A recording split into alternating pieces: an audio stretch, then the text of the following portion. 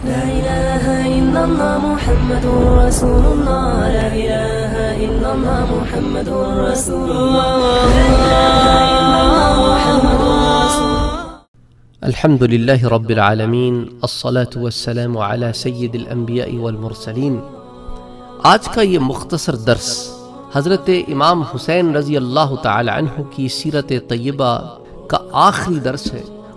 اور اس کے اندر میں وہ ساری تمام تفصیلات جمع کرنے کے بعد ایک کلوز آؤٹ سٹیٹمنٹ دینا چاہتا ہوں۔ اور یہ وہ جواب ہے اس سوال کا کہ حضرت امام حسین نکلے کیوں؟ حضرت امام حسین کیوں نکلے؟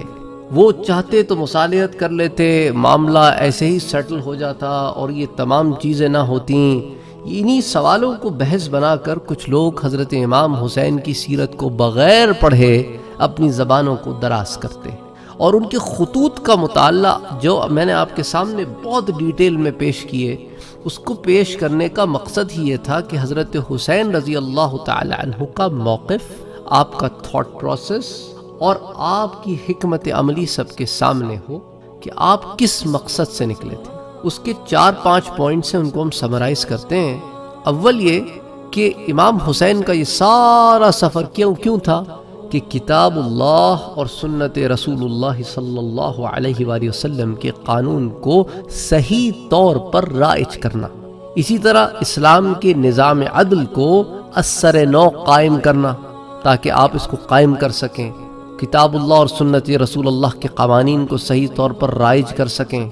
اچھا اسلام میں خلافت نبوت کے بجائے جو ملوکیت اور عامریت کی بدت کی شروعات ہو گئی تھی، اس کا خلا قما کرنا۔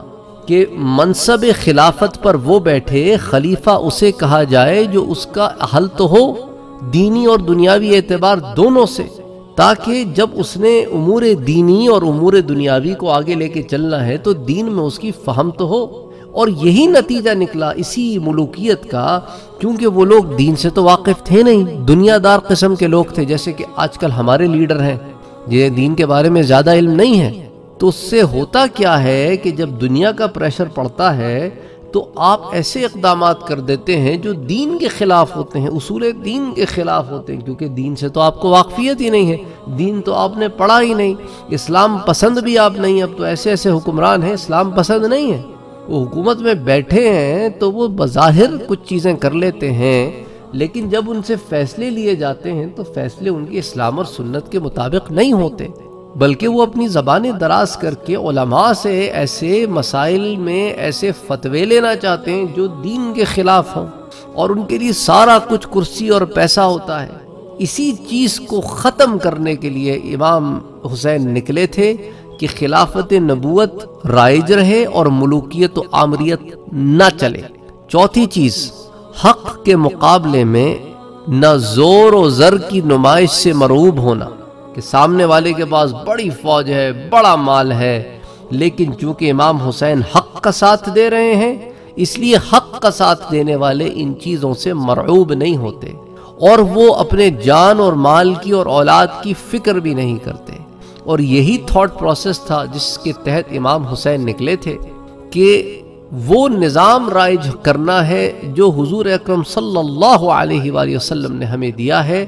اور اس نظام کو ہم نے نہیں لے کے چلنا جس کے اندر دنیا ہی دنیا ہے اور دین کہیں ہے ہی نہیں۔ اے اللہ، ہم سب کو اپنی اور اپنے رسول اور آپ صلی اللہ علیہ وآلہ وسلم کے صحابہ کرام اور اہل بیت اطہار کی محبت کاملہ اور اتباع کاملہ نصیب فرما۔ اللہم صلی وسلم وبارک علی سیدنا محمد صلی اللہ علیہ وسلم۔ ہمارے چینل کو سبسکرائب کرنا نہ بھولیں اور بیل کے آئیکن پر کلک کریں تاکہ آپ کو ریگولر نوٹیفیکیشن اپڈیٹس مل سکیں۔